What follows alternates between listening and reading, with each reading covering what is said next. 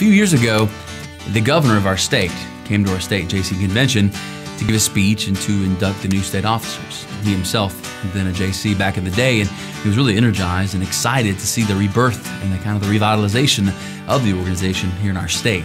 And he told a story about competitions that has really stuck with me to this day. He said when he was a young man, he was, believe it or not, not very comfortable with public speaking.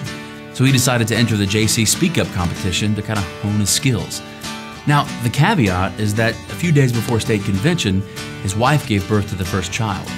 He said that at one point his wife told him that she and the baby were fine, that they could both use some rest, and that he should go home from the hospital and work on his speech.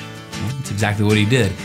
You see, he knew that this was a skill he needed to develop. I don't know if he had political aspirations at that point in his career, but he knew public speaking was important and that the junior chamber was the best place to develop that skill. He, of course, went on to become a multi term congressman and later the governor of our state, but he credits many of these base skills to the Jaycees and the importance of competition. At this year's national convention in Seattle, we followed around a few competitors to learn a little more about their experiences with competition. I'm here today to compete in the Brownfield competition. The Brownfield competition is a competition for first year Jaycees.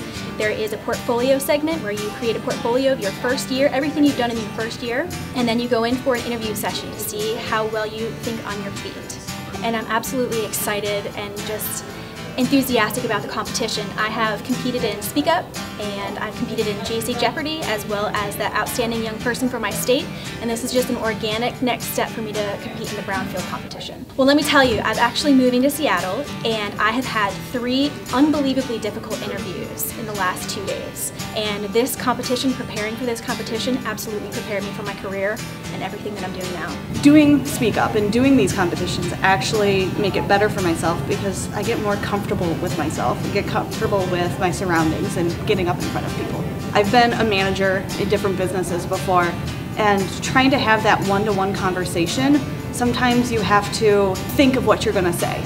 Um, and that Speak Up has helped me with that because I not only have to understand my, my audience and figure out where their information is coming from, but I actually have to put it in words that they would understand.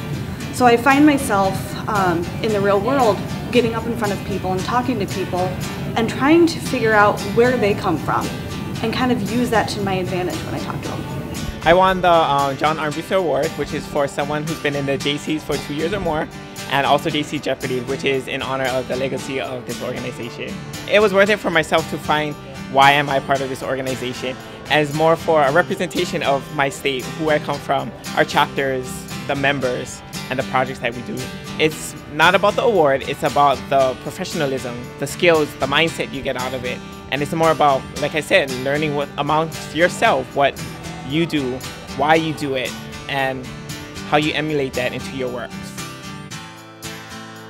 I think it's clear that participating in the United States Jaycees' competitions will help you hone the skills you need to take you as far as you want to go. We look forward to seeing you in next year's competition.